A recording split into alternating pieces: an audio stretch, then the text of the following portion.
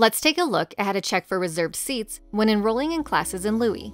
Seat reservations are signaled with a red letter R. This symbol will appear next to the number of seats available for a given course. If you see this red R, you'll want to check and make sure you are a part of the student group that qualifies to enroll in this particular section. The easiest way to check which groups the seats are being reserved for is by looking at the details of the particular section.